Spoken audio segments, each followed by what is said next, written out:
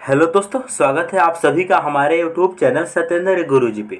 दोस्तों, इस वीडियो में हम आपके लिए मैथ के कुछ इंपॉर्टेंट प्रश्न लाए हैं, जो आने वाले सभी परीक्षा, जैसे कि RRB NTPC group D RPF और एएलपी टेक्नीशियन इन रेलवे के विभिन्न परीक्षाओं के लिए ये वीडियो काफ़ी इम्पोर्टेंट होने वाला है। इसीलिए आप लोग वीडियो के अंत तक ज़रूर बने रहिएगा। तो चलिए शुरू करते हैं प्रश्न संख्या एक से। पहला क्वेश्चन आप लोगों के सामने है, काफ़ी इंपॉर्टेंट है। दोस्त, क्या कह रहा है? ध्यान से देखें। कह रहे निम्नलिखित का मान ज्ञात कीजिए। मेरे दोस्त, आपके सामने है कि एनटीपीसी परीक्षा देख रहे आर आर एनटीपीसी में पूछा हुआ है क्वेश्चन कितना आसान है। मेरे दोस्त देखो, जब भी इस प्रकार के प्रश्न आपके सामने ज़िंदगी में कहियो मिले ना, आपको क्या करना है? ऐसे क्वेश्चन को पीछे से सॉल्व करना बेहद आसान होता है। ये क्वेश्चन बिना पेन और पेपर को भी तुम बना सकते हो। कैसे दोस्त? ध्यान से देखो। सबसे पहले, ये जो यहाँ पर सोलह का वर्गमूल कितना होगा भाई? सोलह का वर्गमूल होता है चार। चार जो है, ये बारह में जुट जाएगा। तो चार और बारह कितना हो जाएगा? सोलह हो जाएगा। यानी यहाँ इसका वैल्यू कितना हो जाएगा? बात को समझिएगा। हमने आपको क्या बोला? इस सोलह का वर्गमूल कितना होता है? चार होता है। अब बारह के साथ प्लस है तो बारह के साथ ये जुट जाएगा तो इन सभी का वैल्यू कितना हो जाएगा? सोलह हो जाएगा। बारह चार सोलह। और सोलह का वर्गमूल कितना निकल के आता है? चार आता है। बात को समझ रहे हैं। अब ये चार जो है, दो सौ इक्कीस के साथ में जुड़ जाएगा। तो दो सौ इक्कीस के साथ में जुड़ेगा तो रूट के भीतर में कितना हो जाएगा भाई? दो सौ पच्चीस हो जाएगा। और दो सौ पच्चीस का जो वर्गमूल निकल के आता है, कितना आता है? पंद्रह आता है। पंद्रह अब दस के साथ में प्लस होगा तो कितना हो जाएगा? पच्चीस हो जाएगा। रूट के भीतर और रूट पच्चीस का वैल्यू कितना होता है भाई? रूट पच्चीस का वर्गमूल होता है पाँच। ऑप्शन नंबर बी इस प्रश्न का राइट आंसर होगा। ठीक है दोस्त? इस प्रकार से इस क्वेश्चन को किया जाता है मेरे दोस्त। एक बार बिना पेन को समझिए, इस सोलह का वर्गमूल चार चार जो है बारह में जुटेगा सोलह सोलह का वर्गमूल चार, फिर से चार इसमें जुटेगा तो दो सौ पच्चीस, दो सौ पच्चीस का वर्गमूल पंद्रह, और पंद्रह में दस जोड़ेंगे पच्चीस हो जाएगा। रूट के भीतर फाइनली पच्चीस बचेगा, जिस इसका वर्गमूल हम लोग निकालेंगे तो कितना होगा भाई? पाँच होगा। आई कौन सा ऑप्शन में दिया है? ऑप्शन बी में दिया है। तो इस प्रश्न का राइट आंसर ऑप्शन बी होगा।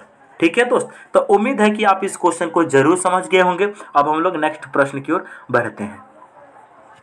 चलिए, अगला क्वेश्चन काफ़ी इंपॉर्टेंट है। क्या है देख ले एनटीपीसी सीबीटी टू परीक्षा, यानी दूसरा, जो एनटीपीसी में दूसरा एग्ज़ाम होता है, उसमें पूछा गया है। थर्ड शिफ्ट में देखिए 2022 का क्वेश्चन है।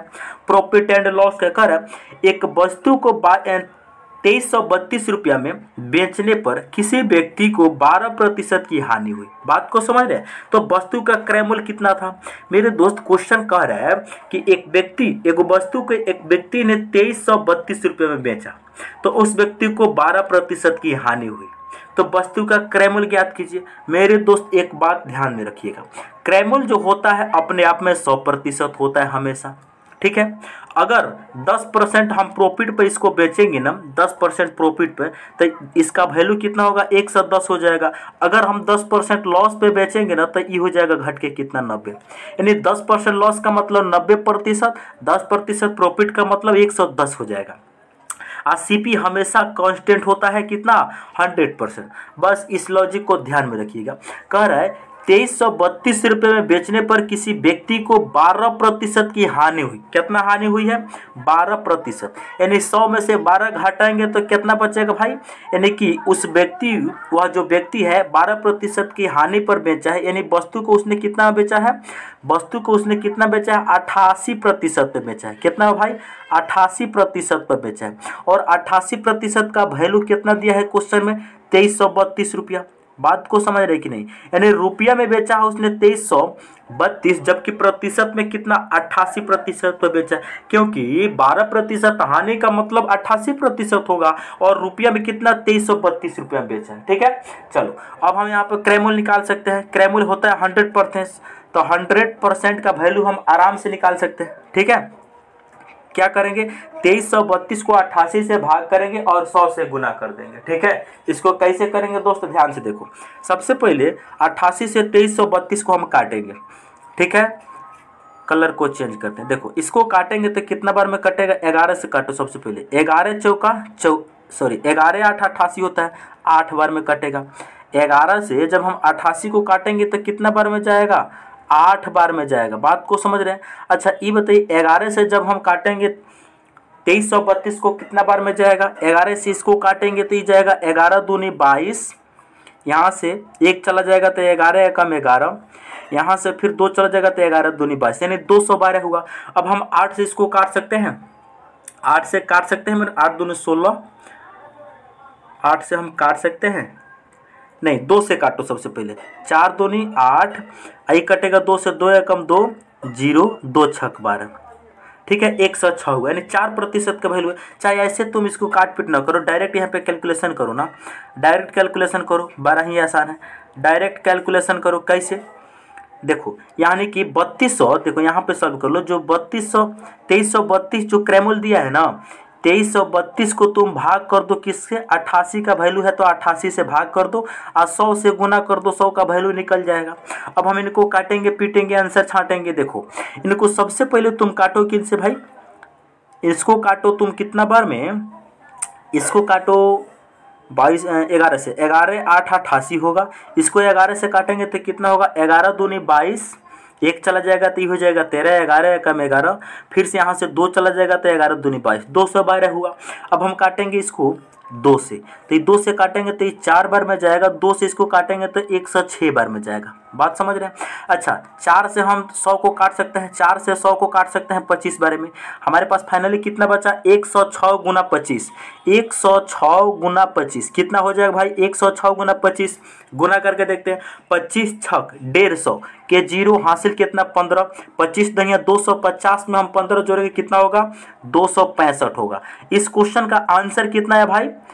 छब्बीस सौ पचास रुपया ऑप्शन नंबर ए इस प्रश्न का राइट आंसर होगा।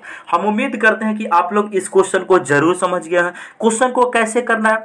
बारह प्रतिशत की हानि पर बेचने का मतलब अट्ठासी प्रतिशत उसने बेचा है, जबकि रुपया में कितना बेचा है? रुपया में तेईस सौ बत्तीस रुपये में बेचा है, ठीक है? तो हंड्रेड हंड्रेड परसेंट का वैल्यू हम आराम से निकाल सकते हैं। क्या करेंगे? तेईस सौ बत्तीस को अट्ठासी का वैल्यू है, इसीलिए अट्ठासी से भाग करेंगे। सौ का निकालना है, सौ से गुना करेंगे। इसको हम सॉल्व करेंगे, काटेंगे, पीटेंगे तो हमारा छत्तीस छब्बीस इस क्वेश्चन का राइट आंसर आएगा, जो ऑप्शन ए में दिया गया है। ठीक है दोस्त? तो हम उम्मीद करते हैं कि आप लोग इस क्वेश्चन को ज़रूर समझ गए होंगे। अब हम लोग अगले प्रश्न की ओर बढ़ते हैं। चलिए, अगला क्वेश्चन है तीन नंबर 225 अनुपात 144 का वर्गमूलानुपात ज्ञात कीजिए मेरे दोस्त। बहुत इंपॉर्टेंट क्वेश्चन है, देख रहे हैं एनटीपीसी क्या है? 225 और 144 का वर्गमूलानुपात ज्ञात कीजिए। जब भी ऐसा क्वेश्चन है ना, आपसे क्या पूछा जाए? वर्गमूलानुपात। तो इस क्वेश्चन को कैसे करेंगे? देखो, कुछ नहीं। 225 यहाँ पर जो दिया है, इसको लिख लेंगे। कितना दिया भाई? 225 दिया है। देख रहे हैं? कितना दिया है? 225 और यहाँ पर कितना दिया है? एक सौ चौवालीस। इन दोनों के बीच में रेशियो का सिंबल यानी अनुपात का है। हम लोगों से पूछा गया वर्ग मूलानुपात बारह ही आसान है। क्या करेंगे? इसके ऊपर रूट लगा देंगे अपने मन से। ठीक है? वर्गमूलानुपात पूछा है। वर्गमूल निकाल यहाँ पर भी रूट लगा देंगे, यहाँ पर भी। अब हम इनका स्क्वायर रूट निकाल देंगे। 225 का स्क्वायर रूट निकालेंगे तो कितना होगा भाई? 15 होगा। 144 का स्क्वायर रूट निकालेंगे तो कितना होगा भाई? 12 होगा। तो इस प्रश्न का राइट कितना आंसर कितना होगा भाई? 15 अनुपात 12 ऑप्शन नंबर डी हो जाएगा इस क्वेश्चन का राइट आंसर तो हम उम्मीद करते हैं कि आप लोग इस क्वेश्चन को ज़रूर समझ गए होंगे। क्या करना है, कैसे करना है, हम आपको बता दिए कुछ नहीं करना मेरे दोस्त। यहाँ पर करना क्या? क्या जो यहाँ पर 225 और 144 दिया है ना, बस इसी का वर्गमूल निकाल देंगे। यानी रूट कर देंगे 225 का और 144 का वर्गमूल। हमारा आंसर निकल जाएगा। ये हो जाएगा 15 ये हो जाएगा कितना भाई? 12 हो जाएगा। ऑप्शन डी से। ठीक है दोस्त? चलिए, आगे बढ़ते हैं हम लोग। कोई दिक्कत है इस प्रश्न में? कोई दिक्कत नहीं है। चलिए। चलिए, आगे क्वेश्चन काफ़ी इंपॉर्टेंट है। बढ़िया बढ़िया बच्चे से इस क्वेश्चन का आंसर का इस क्वेश्चन का सही जवाब नहीं दे पाएँगे। कितना भी पढ़ने में ओवर ब्रिलियंट हो गए ना तो इस क्वेश्चन को सॉल्व करने में उसको दिक्कत होगी। मेरे दोस्त, आपसे ज़िंदगी में कभी भी यह क्वेश्चन नहीं बन सकता है, अगर आपने नहीं पढ़ा है तो। तो यहाँ इस क्वेश्चन को आप लोग ध्यान से देखिएगा। इस क्वेश्चन में छः बटा आठ में पाँच का और छः बटा पच्चीस में चार के स्थानीय मान का योग लिखना है। और आपके सामने ग्रुप डी का क्वेश्चन है 2018 में पूछा गया। दोस्त, करना है क्या? ध्यान से देखिएगा। हम आपको एक कंसेप्ट सिखाते हैं। अगर आप लोगों से हम पूछे कि दो, तीन, पाँच छ सात, कोई संख्या है? हम आपसे पूछे कि पाँच का स्थानीय मान बताए तो कितना करेंगे भाई? पाँच का स्थानीय मान निकालना मेरे मेरे लिए बहुत आसान है। क्या करेंगे? पाँच का स्थानीय मान निकालना, इसीलिए पाँच लिखेंगे। पाँच के बाद जितना अंक है ना, उसके जितना अंक है, उतना ज़ीरो इस पर बैठा देंगे। समझ रहे हैं?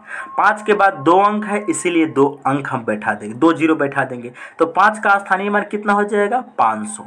अगर हम आपसे पूछे कि दो का स्थानीय मान बताइए तो क्या होगा? सबसे पहले दो आएगा। और दो के बाद जितना अंक है उतना ज़ीरो बैठ जाएगा। एक, दो, तीन, चार। दो के बाद चार अंक है तो चार को हम ज़ीरो बैठा देंगे। तो दो का स्थानीय मान यही हो जाएगा। अब देखो दोस्त ये तो बड़ा ही आसान है, कोई बच्चा कर लेगा। हम आपसे अगर पूछे यहीं पे, अगर हम आपसे पूछे कि सात दशमलव छ पाँच तीन है हम आपसे पूछे कि छः का स्थानीय मान बताइए तो क्या करेंगे दोस्त? क्या करेंगे आप लोग? छः लिखेंगे। छः के बाद जितना अंक है उतना ज़ीरो बैठाएँगे, लेकिन ये गलत हो जाएगा। इसके लिए दूसरा ट्रिक लगेगा। क्यों? क्योंकि यहाँ पर दशमलव आ चुका है दोस्त। छः का स्थानीय मान निकालना है ना तो क्या करेंगे? अब देखो ध्यान से। छः का स्थानीय मान निकालना है तो छः लिखेंगे। ठीक है? छः लिखेंगे। अच्छा छः के बाद कितना अंक है? छः के बाद दो गो अंक है। तो हम यहाँ पर दो अंक है ना तो इसको हम क्या करेंगे दोस्त? इसको जो छ, फिर से समझिए।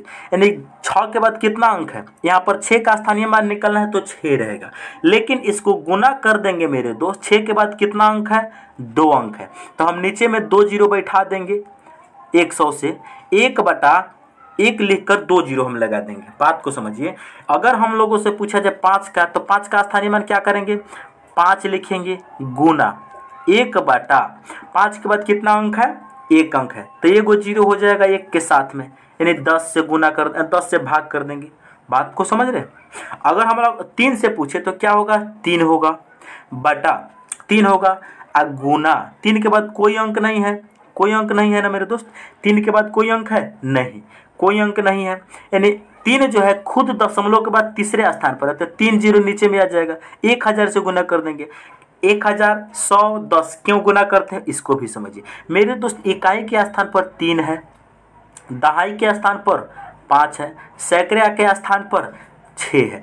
इसीलिए सौ से भागा देते हैं। दहाई के स्थान पर पाँच था, इसीलिए दस से भागा दिए हैं। यहाँ पर जो तीन है ना मेरे दोस्त, इकाई के स्थान पर है, इसीलिए यहाँ पर एक ऊपर रहेगा दशमलव के बाद तीन तीसरे स्थान पर है, इसीलिए तीन को ज़ीरो से हम भाग देंगे। बात को समझ रहे हैं? वही लॉजिक यहाँ पर लगाते हैं मेरे दोस्त। सबसे पहले छः बटा आठ को दशमलव में लिखेंगे। कितना होगा? छः बटा आठ को दशमलव में लिखेंगे। तो छः को हम आठ से भागा करेंगे तो भागा जाएगा नहीं। तो सबसे पहले दशमलव लगाएँगे तो ये हो जाएगा साठ। अब भागा दो। आठ सतह कितना हो जाएगा? छप्पन। ऊपर से उतरेगा चार। एक ज़ीरो बैठाएँगे अपने मन से, क्योंकि दशमलव जब बैठा चुके हैं तो ज़ीरो कितना भी उतार सकते हैं। आठ पचे कितना हो जाएगा? चालीस हो जाएगा। ठीक है भाई? अब देखो, यानी छः बटा आठ को जब हम भागा दिए तो कितना आया? ज़ीरो दशमलव सात पाँच आया। तो हम यहाँ पर डायरेक्ट लिख सकते हैं छः बटा आठ को जब हमने भागा दिया तो कितना आया? ज़ीरो दशमलव सात पाँच आया। बात को समझ रहे अच्छा छः बटा पच्चीस को जब हम सॉल्व करेंगे पॉइंट में कितना आएगा? छः बट्टा पच्चीस को जब सॉल्व करेंगे कितना आएगा भाई? जब हम छः बटा पच्चीस को भागा करेंगे तो ये आएगा ज़ीरो दशमलव साठ हो जाएगा। साठ को भागा करेंगे पच्चीस से तो पच्चीस दूनी पचास, दस शेष बचा, पच्चीस चौका सौ। यानी छः बटा पच्चीस को जब हम भाग देंगे तो point two five two four आएगा। और जब छः बटा आठ को भाग करेंगे तो पॉइंट सेवन फाइव आएगा। अब बोला है कि छः बटा आठ में पाँच का स्थानीय मान। तो पाँच का स्थानीय मान निकालना बेहद आसान है, पाँच गुना। पाँच है, दशमलव के बाद कितना स्थान पर है? दो अंक है। इसीलिए इसको यानी सैकड़े यानी दो अंक है तो दो ज़ीरो नीचे लिख देंगे एक के साथ में। अच्छा यहाँ पूछा है चार का। तो यहाँ पर यहाँ हो जाएगा चार। अच्छा ये बताइए दोस्त, यहाँ हो जाएगा कितना? चार हो जाएगा। ठीक है? चार गुना एक बट्टा उल्टा होता है। दूसरे स्थान पर भी है तो इस यहाँ पर भी नीचे में दो ज़ीरो आ जाएगा।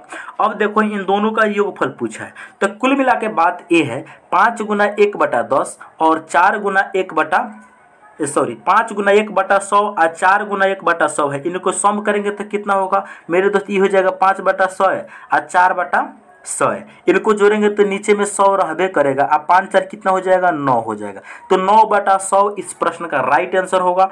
ऑप्शन नंबर सी इस क्वेश्चन का ठीक आंसर होगा। ठीक है दोस्त? तो हम उम्मीद कर रहे हैं कि इस क्वेश्चन को भी आप बड़े ही आसान तरीका से समझ गए होंगे। बढ़ते हैं लास्ट प्रश्न की ओर। चलिए, अगला क्वेश्चन है पाँच बटा ग्यारह और ग्यारह बटा पाँच का योग कितना होगा? आपके सामने ग्रुप डी 2018 में इतना आसान क्वेश्चन पूछ लिया था भाई। करो सॉल्व बट्टा का ज़ोर तो है, कुछ नहीं। पाँच बटा ग्यारह प्लस ग्यारह बटा पाँच का एल्शियम ले लो। इनको एल्शियम लेके सॉल्व करेंगे। ग्यारह और पाँच का एल्शियम लेंगे तो ये हो जाएगा पचपन। अच्छा ग्यारह से भाग देंगे पाँच। पाँच से इस पाँच में गुना करेंगे तो कितना हो जाएगा? पच्चीस हो जाएगा प्लस। पाँच से पचपन में भाग करेंगे ग्यारह और ग्यारह गुना ग्यारह एक से इक्कीस होगा। अब हम इनको सॉल्व करेंगे तो कितना? नीचे में पचपन जो कहते हैं रहेगा। पच्चीस प्लस एक से एक सौ इक्कीस कितना हो जाएगा? ये हो जाएगा छः ये हो जाएगा चार ये हो जाएगा एक। एक सौ छियालीस इस क्वेश्चन का राइट आंसर होगा। एक सौ छियालीस बाई पचपन। ऑप्शन नंबर ए होगा राइट आंसर ठीक है दोस्त? चलिए।